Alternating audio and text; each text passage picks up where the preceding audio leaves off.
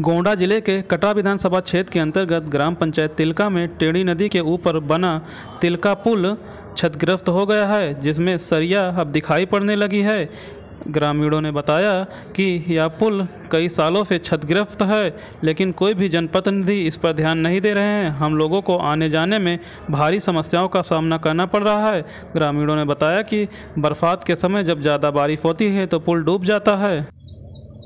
क्या नाम है आपका? हमारा नाम रमेश है। कौन सी जगह है? ये तिलका घाट का पुल है। क्या समस्या है?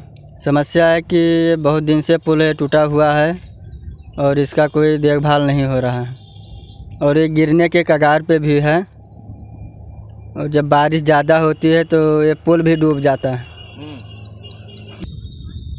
क्या नाम है आपका? हनुमान। कौन सी जगह है? तिलका डीहा। क्या समस्या है?